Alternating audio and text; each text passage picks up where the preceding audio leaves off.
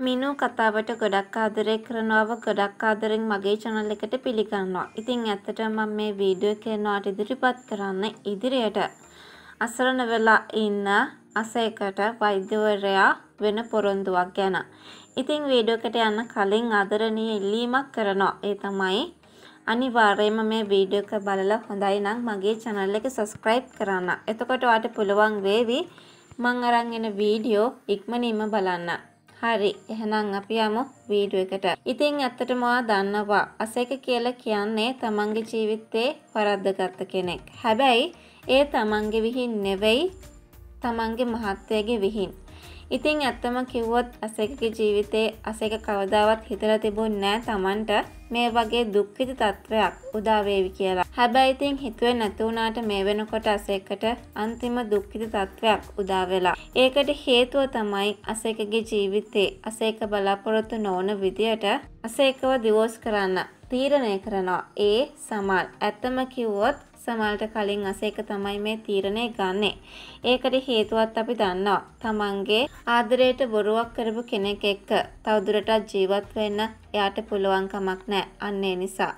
ඉතින් දැන් මේ සිදුවීම් හැම එකක් අතරෙම තවත් දෙයක් අපි දකිනවා. ඒ තමයි දැන් ඔයා දන්නවා අසේක දිවස්වලත් ගොඩක් දුකෙන් ඉන්නේ. ඇත්තට මෙතන තියෙන ලොකු මානසික පීඩනයක්. ඉතින් ඇත්තටම තමන්ගේ දරුවත් බලාගෙන ගොඩක් වැඩ කරන්න තමයි අසේකට සිද්ධ වෙලා තියෙන්නේ. ඉතින් ඇත්තටම තමන්ගේ අම්මා තාත්තා අයියා මේ හැමෝම තමන්ව බලාගත්තට අසේකට තේරුමක් නැහැ. ඇත්තටම අසේකට ඕන කරන්නේ වෙන කිසිම දෙයක් නෙවෙයි. ලස්සන ජීවිතයක් ගත කරන්න තමන්ගේ දරුවත් එක්ක.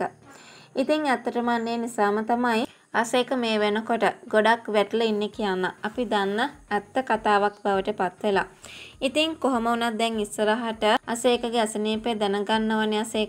ඉතින් දැන් අපි දැක්කා අසේක තමන්ගේ අසනීපය ගැන දැනගත්තා. ඒ වගේම තමයි තමන්ට මේ අසනීපය නිසා මැරෙන්න බැරි කතාවත් අර වෛද්‍යවරයාට කියනවා. ඒ විතරක් නෙවෙයි වෛද්‍යවරයාට කියපු දේවල් එක්ක වෛද්‍යවරයා තේරුම් ගන්නවා අසේක ඇත්තටම ගොඩක් අසරණ වෙලා ඉන්නේ කියලා. හැබැයි මේ වෛද්‍යවරයා මෙතනින් පස්සේ අසේකගෙන් ප්‍රයෝජනයක් ගන්න නෙවෙයි උත්සාහ කරන්නේ. ඇත්තටම අසේක උත්සාහ කරන්නේ මෙන්න මේ වගේ දෙයකට.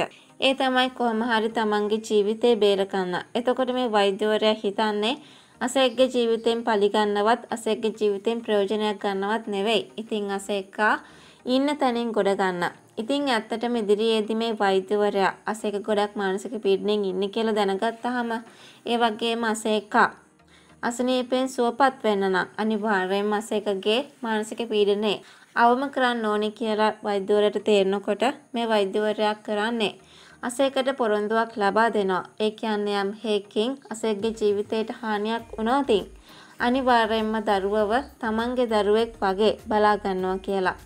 ඉතින් අසේක සැනසීමක් ලබන්නේ අන්නේ පොරොන්දුවෙන් පස්සේ කියලා අපිට විශ්වාස කරන්න පුළුවන්. ඉතින් ඔයාටත් මේ ගැන අදහසක් ඇති.